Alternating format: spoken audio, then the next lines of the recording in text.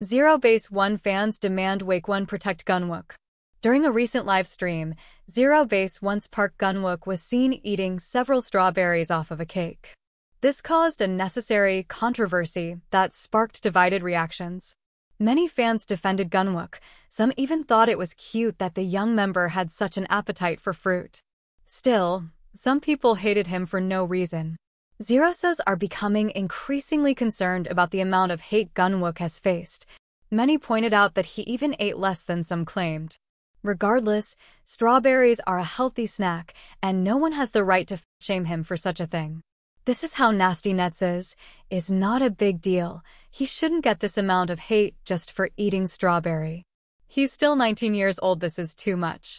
WAKEONE Protect Gunwook Zeroses are demanding WAKEONE take action and protect its artist, Gunwook, amid the constant attacks. Fans want the company to take legal action, especially since this isn't a one-off occurrence.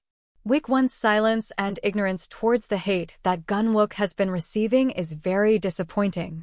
We demand you take immediate legal action against the constant hate directed towards Gunwook. Whether WAKEONE does its part or not, Gunwook's fans are taking action. It's not just a one-time incident in which Gunwook has suffered.